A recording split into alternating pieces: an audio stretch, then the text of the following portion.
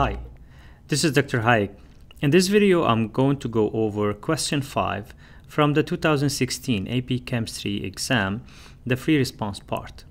So the question says, at high temperatures, the compound C4H6 reacts according to the equation above.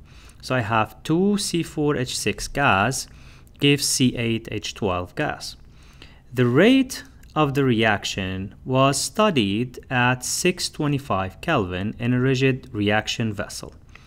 Two different trials, each with a different starting concentration, were carried out. The data were plotted in three different ways as shown below. So I have one graph for concentration versus time, another one for natural log of concentration versus time, and the third one is 1 over concentration versus time. The first question is, for trial 1, calculate the initial pressure in atmosphere in the vessel at 625 Kelvin. Assume that initially all the gas present in the vessel is C4H6. Now, for trial 1, the initial concentration of C4H6 is 0.20 molar. I can take this one from the plot concentration versus time and where we can see the uh, concentration axis intercept is equal to 0.020 for trial 1. So I can say that N over V is equal to 0.020 mole per liter. Now why do I need this ratio N over V?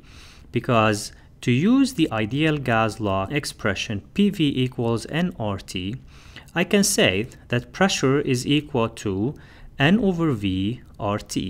So now I can replace N over V by the concentration term, which is 0.020 mole per liter, multiplied by the ideal gas law constant R, which is 0.08206 liter atmosphere per mole Kelvin multiplied by the Kelvin temperature, which is 625 Kelvin.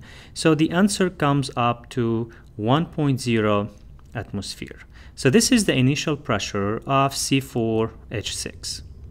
Now the next question says, use the data plotted in the graph to determine the order of the reaction with respect to C4H6. Now if I take a look on the graphs again, I can see that the plot of 1 over concentration versus time gives me a straight line and this means that the reaction is second order in concentration of C4H6. The last part in this question is part C.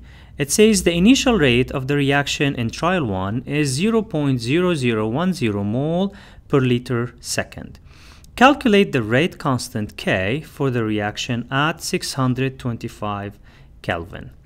Now, from the differential rate law, I can say that rate is equal to the rate constant K multiplied by the squared concentration of C4H6 since it's a second order and therefore rearranging this expression I get that K equals to the rate divided by the square of the concentration. Now I can use the initial rate, which is 0.0010 mole per liter second, divided by the square of the initial concentration, which is 0.020 mole per liter, and the value of K will be 2.5 liter per mole second.